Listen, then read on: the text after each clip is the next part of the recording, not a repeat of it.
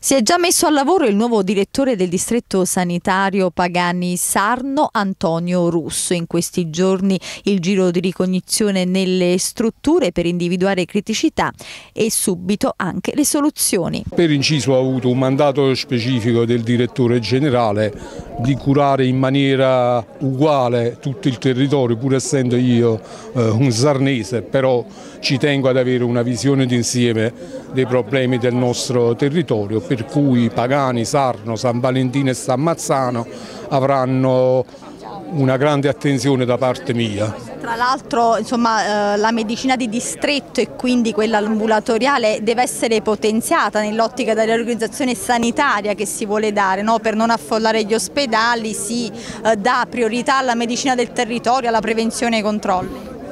Sicuramente eh, l'obiettivo è quello che in, in, sanità viene chiamata non appropriatezza delle, delle prestazioni eh, perché molto spesso ci si rivolge al posto, al posto sbagliato.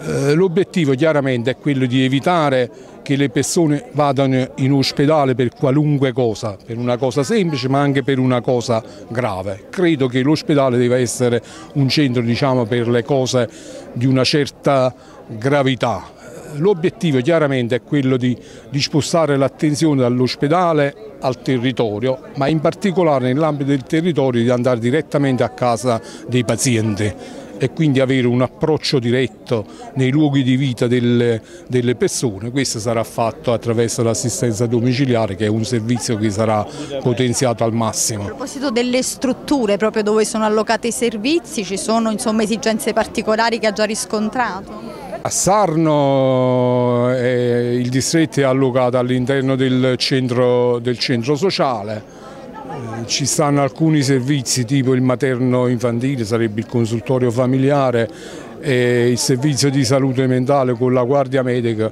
che stanno in strutture in fitto.